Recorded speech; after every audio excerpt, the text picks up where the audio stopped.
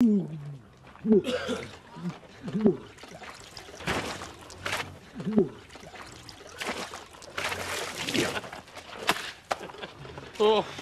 hey. If I was you, I'd try to drown myself and all. I'd like to eat. Oh, Charlo. So, let's be home. Oh, yeah, yeah, yeah. Welcome to my world, eh? Travelling hasn't changed him much. I like some. What do you expect? Yeah, don't start on Lisa. She's been really good looking after us. Eh? No, you weren't here then. Look, he knows. And what's the point she does? If it weren't for me, they wouldn't have a roof over their head. Right? That house is down to yours truly. No one else. Eh? Get out of it.